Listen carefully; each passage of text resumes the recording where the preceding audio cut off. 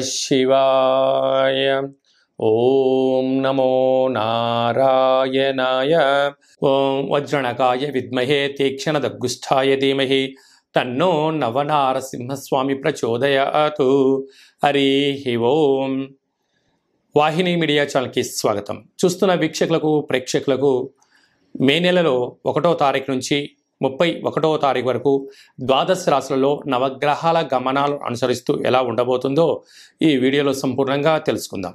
ప్రధానంగా ద్వాదశ రాశుల్లో నవగ్రహాల గమనాన్ని మనం ఒకసారి పరిశీలన చేద్దాం. మేషరాశిలో రవి బుధ రాహు సంచార స్థితి వృషభ రాశిలో రాహు సంచార స్థితి మిథున రాశిలో కుజ సంచార స్థితి వృచ్చిక రాశిలో కేతు సంచార స్థితి మకర రాశిలో శనేశ్వర స్వామివారు స్వక్షేత్రకారకుడు కుంభరాశిలో దేవగురు బృహస్పతితో సంచార స్థితితో మొదటితో ప్రారంభం అవ్వడం రెండవ తారీఖున బుధుడు వృషభ రాశిలోకి ఐదవ తారీఖున శుక్రుడు వృషభ రాశిలోకి పదహారవ తారీఖున రవి వృషభ రాశిలోకి సంక్రమించినప్పుడు ద్వాదశ రాశుల్లో ఫలితాలు ఎలా ఉంటున్నాయో ఈ వీడియోలో సంపూర్ణంగా తెలుసుకుందాం. చూస్తున్న వీక్షకులకు ప్రేక్షకులకు అందరికీ అక్షయ తృతీయ పండగ శుభాకాంక్షలు. అలాగనే శంకర జయంతి శ్రీ వాసవిమాత జయంతి లక్ష్మీ నరసింహస్వామి వారి యొక్క జయంతి వైశాఖ మాస పూర్ణిమ శుభాకాంక్షలతో ద్వాదశ రాశి వారందరికీ సకల శుభాలు జరగాలని కోరుకుందాం. ఆశీర్వదిద్దాం. వృచ్చిక రాశిలో మే నెల ఒకటో తారీఖు నుంచి ముప్పై ఒకటో తారీఖు వరకు ఎలా ఉంటుందో ఈ వీడియోలో సంపూర్ణంగా తెలుసుకుందాం. వృచ్చిక రాశిలో ఏ నక్షత్రాలు వస్తానగా విశాఖ నక్షత్రంలోని చివరి పదం నాలుగో పదం అనురాధ నక్షత్రంలోని ఒకటి రెండు మూడు నాలుగు పాదాలు జ్యేష్ఠ నక్షత్రంలోని ఒకటి రెండు మూడు నాలుగు పాదాలు కలిపితే వృచ్చిక రాశి అవ్వడం జరుగుతుంది. చాలామందికి డేటా బర్త్లు ఉండవు కనుక పేరు యొక్క మొదటి అక్షరాన్ని అనుసరిస్తూ ఆ రాశిని తెలుసుకునే ప్రయత్నం అవుతుంది కనుక ఆ అక్షరాలు చూస్తే పరిశీలన చేద్దాం. తో నా నీ ను నే నో యా ఈ యు అనే అక్షరా వాళ్ళందరూ కూడా వృశ్చిక రాశి జాతకులే అని చెప్పి గమనించగలరు వృశ్చిక రాశి యొక్క అధిపతి కుజుడు. కాకపోతే ఈ యొక్క మే నెలలో ఆడంబరాలకు ధనం వ్యయమవడం శుభవార్తలు వినడం అంతర్గతంగా బహిర్గతంగా శత్రువుల యొక్క బాధలు పెరగడం అధికారులతో చీ ఇబ్బందులు పడే అవకాశాలు ఉండడం ఎన్నో విషయాల్లో రుణం పెరిగే అవకాశాలు అధికంగా ఉండబోతున్నాయి. విశాఖ నక్షత్రంలో నాలుగో పాదంలో పుట్టిన జాతకులు పోలీస్ ఆఫీసర్స్గాను తూనికలు కొలతలు వ్యాపారాలు సంఘ సేవ సమాజ సేవ గుర్తింపు సేవా కార్యక్రమాలు చేసే వారికి ఇది మంచి కాలం అని చెప్పి గమనించగలగాలి. అనురాధ నక్షత్రంలో పుట్టి పుట్టిన జాతకులు వ్యవసాయ క్షేత్రాలలో ద్రవ జల వ్యాపార కార్యక్రమాలు పెట్రోల్ బంక్స్ టైర్లు వాహనాలు క్రయ విక్రయాలు లోహపు సంబంధించిన వ్యాపార కార్యక్రమాల్లో విజయం సాధించబోతున్నారని చెప్పి మీరు గమనించగలగాలి.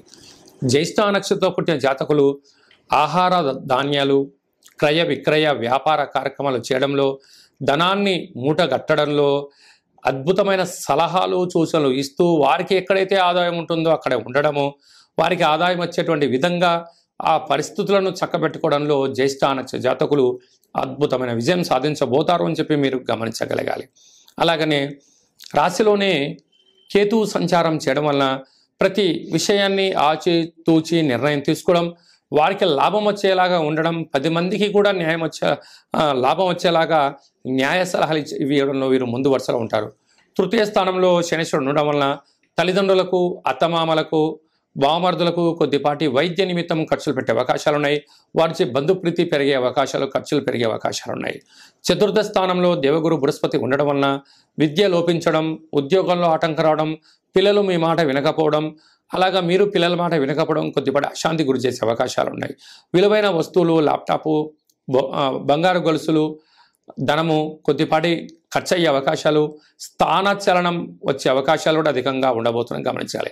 రుణ రోగ శత్రుస్థానంలో ఆత్మకారకుడు రవి బుద్ధికారకుడు బుధుడు కలత్రకారకుడు శుక్రుడు ఉండడం వలన గృహ నిర్మాణ కార్యక్రమాలకు మీ యొక్క వాహనాల యొక్క మరమ్మతుల కోసం ప్రభుత్వం యొక్క వృత్తి ఉద్యోగ వ్యాపార కార్యక్రమం చేసేవారికి కొద్దిపాటి ధనం ఖర్చు అయ్యే అవకాశాలు అధికంగా ఉండబోతున్నాయి.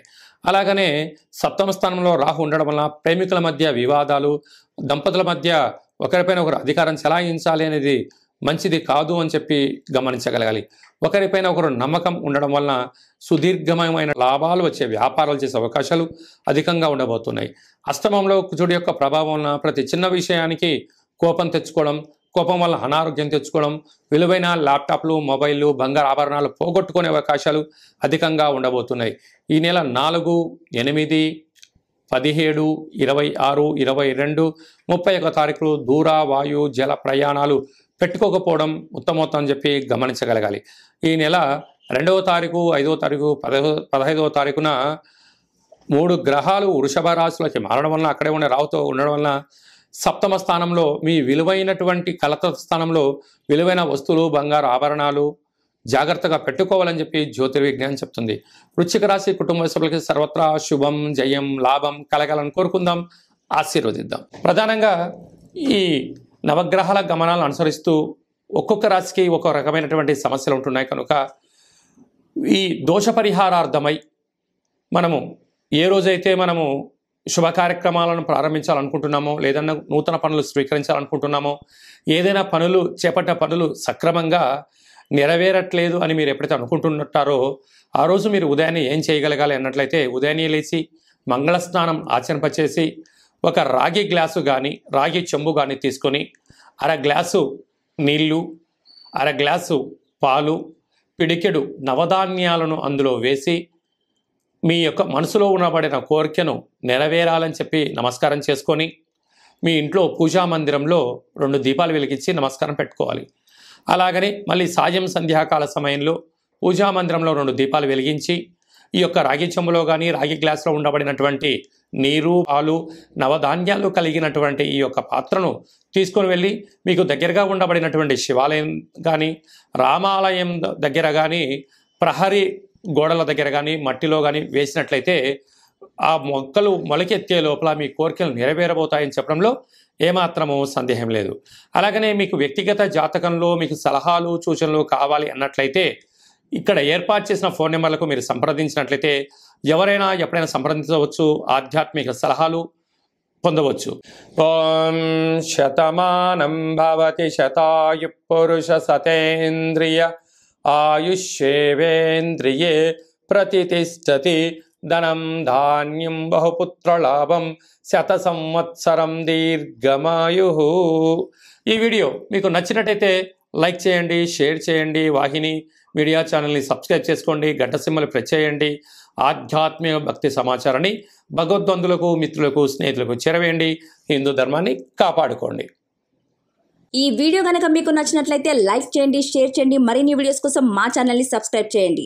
మీ అభిప్రాయాలు మాకు కామెంట్స్ రూపంలో చెప్పండి. మరిన్ని వీడియోస్ కోసం మా ఛానల్ని సబ్స్క్రైబ్ చేయండి.